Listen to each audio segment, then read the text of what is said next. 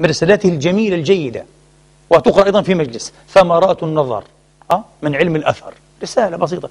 موجودة على الصفحة. العنكبوتية يعني متاحة يمكن لأي أحد أن أن ينزلها مجانيا. اسمها ثمرات النظر في زواء 100 صفحة آه. يتكلم فيها ثم يتكلم عن معاوية. وعن خلاصة رأيه في معاوية أيضا. نريد أن نقرأ ماذا قال الأمير الصنعاني في ثمرات النظر رحمة الله عليه في علم الأثر. قال بعد أيضا أن عرف بالصحابة وجليل إيه؟ موقعهم وعظيم خطرهم. نعم. وما ينبغي لهم قال إلا أن تفسير الصحابي بمن لقيه صلى الله عليه وسلم تقول لي الصحابي هو الذي إيه؟ لقي النبي أو رآه ولو حتى الساعة أو سويعة من نهار أو من ليل مؤمنا به ومات على ذلك. إنه هذا. أو بمن رآه. وتنزيل إلا أن يعني كذا وتنزيل تلك الممادح عليه بعد يأباه الإنصاف. تعرف الصحابة زي هيك. وبعدين يجيب كل الآيات والأحاديث وتقول هذه تنزل عليه لأنه رأى النبي. قال هذا أنا أراه إيه؟ يعني حيدة عن طريق الإنصاف. ولا يقال وهذا كلام جيد لرعية الملك أصحاب الملك. الرعية. أخي في رعية النبي. لو النبي, النبي لو افترضناه ملكا وحاشاه أعظم من كل ملوك الدنيا تصور؟ هو سيد المرسلين. لو افترضناه ملكا هؤلاء رعية ما دول أصحابه. رعيته. 110 آلاف توفي عنهم. هذه رعية الرسول أتباعه هذول مش أصحابه. أصحابه من لهم لون اختصاص به.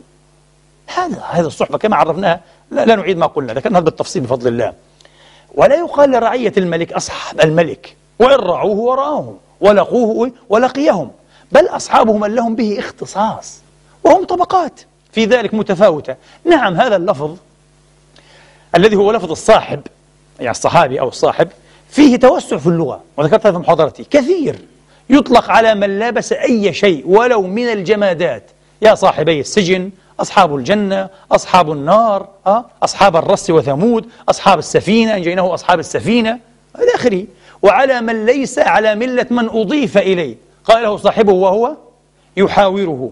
إلى أن قال وإذا تقرر هذا شوف كلام العلماء لما آه فهو وإن صح على الإطلاق على من لاقه صلى الله عليه وسلم ولو لحظة يعني لغويا أه من ليل أو نهار إلا أن الممادح القرآنية والأحاديث النبوية والصفات الشريفة العلية التي كانت هي الدليل على عدالتهم وعلو منزلتهم ورفعة مكانهم تخص الذين صحبوه صحبة محققة ولازموه ملازمة ظاهرة. الذين قال الله تعالى فيهم محمد رسول الله والذين معه أشداء على الكفار.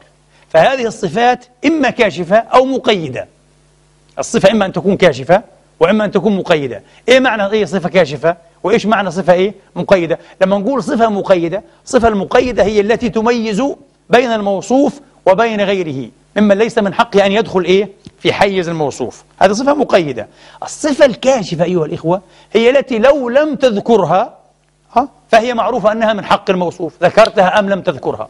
كقوله مثلا صلى الله عليه وسلم المفارق لدينه التارك لدينه المفارق للجماعة. اختلفوا فيه.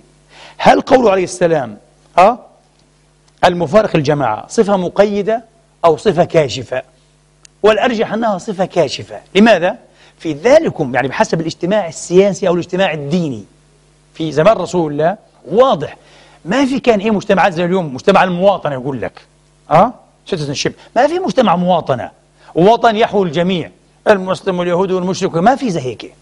كان الاجتماع السياسي على أس إيه؟ ديني. واضح؟ آه. فأنت إيه بتكون مسلم بتكون مع إيه؟ معسكر إيه؟ حتى لو كنت منافقا مسلم في الظاهر. تكون مشركا تلتحق بمين؟ بالمشركين مباشرة فتفارق الجماعة فهمتوا؟ آه فهذه صفة كاشفة بمعنى أن كل من ترك دينه فارق الجماعة. ليس هناك من يترك دينه ويبقى في الجماعة. فتكون الصفة إيه؟ مقيدة. يعني هناك إيه؟ من يترك الدين ويبقى وهناك من يترك ويلتحق بالكفر. فتكون مقيدة. ليست مقيدة بل هي صفة إيه؟ كاشفة وهذا هو الأرجح وضح لكم الفرق بين المقيدة والكاشفة. هذا كلام العلم. العلم. أنا بعرف طبعا في ناس حتى يسمعوا هذه الحلقات. والله في حياته لا سمع لا بكاشفة ولا بمقيدة وبيطلع برد عينه على أمثال إنه بفكر حاله فهمان هو. ما يعرفوش حاجة هم مش فاهمين شيء.